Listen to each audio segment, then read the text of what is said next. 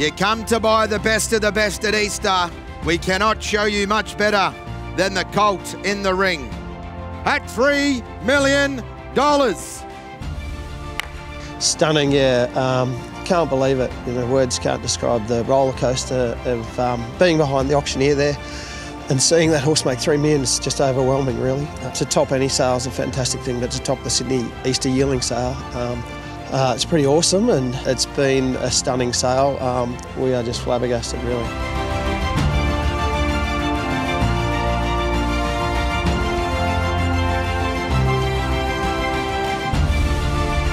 I've never seen more big buyers on the ground uh, oh, ever at an Easter yearling sale. The draft has been incredibly popular. We've just never ever been busier at a sale. The enthusiasm down here and the excitement and everything else is fantastic. This is the sale you want to be at at the end of the day. So to get a, a good result at this sale, it sort of franks what you're doing. This is why we come to Easter, try to find the next home affairs.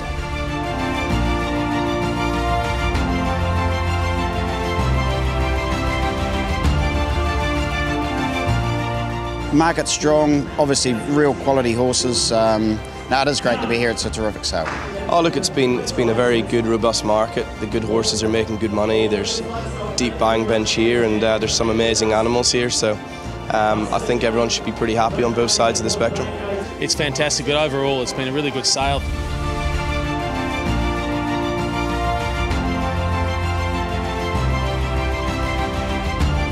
I think there's plenty of money here. There's a lot of competition in the internationals now. This is the first sale I've uh, really seen them back in force.